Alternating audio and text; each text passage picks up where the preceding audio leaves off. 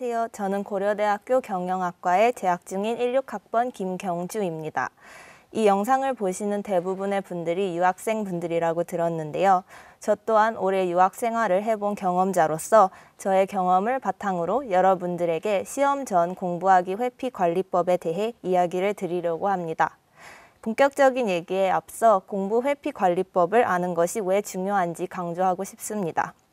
시험 대비 공부를 꾸준히 열심히 한다면 시험이 어렵게 느껴지지 않겠지만 반대로 공부를 회피하고 시험 전날 벼락치기식 공부를 한다면 쉬운 내용도 어렵게 느껴질 수밖에 없습니다.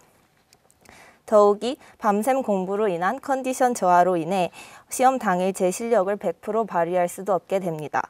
인간이라면 누구나 다 어렵고 하기 싫은 일을 회피하고 싶은 욕구를 가지고 있지만 이러한 인간의 본능을 극복해야 평균에서 벗어나 최고의 학점을 얻을 수 있습니다.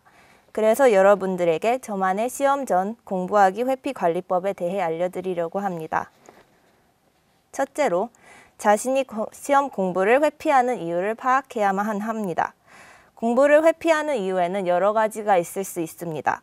예를 들면 언어 장벽으로 인한 막막함, 게임, 핸드폰, 컴퓨터 등의 공부 방해 요인들, 그리고 무기력함 등이 있습니다. 자기 자신을 객관적으로 분석하여 공부를 회피하는 내외적 원인을 파악하고 그것에 알맞은 해법을 찾아야 합니다. 다음으로 대표적인 공부 회피 이유 네가지와각 이유별로 저에게 효과적이었던 해법들을 소개해 드리려고 합니다. 공부를 회피하는 첫 번째 이유는 언어 장벽 또는 방대한 시험 범위로 인한 막막함 때문입니다. 모국어로 해도 어려운 전공 공부를 외국어로 하는 것이 낯설고 막막해서 공부를 회피하는 분들이 많을 거라 생각됩니다. 이런 경우엔 수업을 같이 듣고 있는 원어민 친구의 도움을 받는 게 가장 효과적인 방법입니다. 수업 진행 속도가 너무 빨라서 놓친 부분이 있거나 전공 서적에 있는 용어의 뜻을 잘 모를 때는 혼자 끙끙 앓으며 고민하기보단 한국인 학우들의 도움을 받는다면 훨씬 수월하게 시험 공부에 접근할 수 있을 겁니다. 따라서 한국인 친구들을 멀리하기보단 먼저 다가가서 적극적으로 도움을 요청하는 자세를 취하길 추천합니다. 또한 방대한 시험 범위 때문에 공부를 시작할 엄두조차 나지 않는 경우엔 체크리스트를 먼저 작성하는 방법을 추천하고 싶습니다. 하나의 큰 목표를 여러 개의 작은 목표로 나누어 정리하면 체감상 부담감이 줄어들게 됩니다. 사진에 나와 있는 제 체크리스트를 예로 들자면 공, 광고론 녹음 듣기와 같은 하나의 큰 목표를 설정해 놓기보다는 녹음 1, 녹음 2, 녹음 3 듣기와 같이 달성하기 좀 더 수월한 어, 여러 개의 작은 목표로 나누어 공부 회피를 방지할 수 있습니다. 또한 체크리스트 작성을 통해 시험 범위의 전체적인 흐름을 파악할 수 있고 나의 공부 진행 상황을 한눈에 보며 동기부여도 받을 수 있어서 일석삼조의 효과를 누릴 수 있습니다. 공부를 회피하, 는 두 번째 이유는 공부 방해 요인 때문입니다. 특히 한국에 온 지 얼마 안 된 유학생분들의 경우 주위에 많은 방해 요인들이 있을 거라 생각됩니다. 새로운 나라를 여행하고 많은 체험을 해보고 싶으실 거고 또 새로 만든 친구들과도 많은 시간을 함께 보내고 싶으실 겁니다. 그러나 시험 기간 동안만큼은 이런 방해 요인들을 제쳐놓고 자신의 일에 집중해야 합니다. 컴퓨터가 가장 큰 방해 요인이라면 컴퓨터 사용이 금지된 일반 열람실을 사용하거나 친구가 가장 큰 방해 요인이라면 카페 같은 개방된 공간보다는 칸막이가 있는 열람실에서 따로 공부하는 것을 추천드립니다. 공부 방해 요인을 차단하는 것도 중요하지만 반대로 방해 요인을 활용하는 방법도 효과적인 공부 회피 관리법이 될 수 있습니다.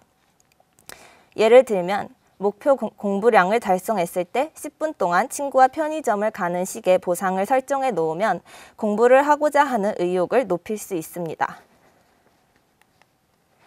공부를 회피하는 세 번째 이유는 완벽주의 성향으로 인한 부담감 때문입니다. 저 또한 그랬듯이 많은 유학생 분들이 공부를 잘하기 위해서는 언어를 완벽하게 구사해야 한다는 부담감 때문에 공부를 회피하고 있을 거라 생각됩니다. 세부적인 문법과 어휘에 집착하며 자신은 아직 공부를 할 준비가 되지 않았다는 핑계로 계속 공부를 미루고 있을 수도 있습니다.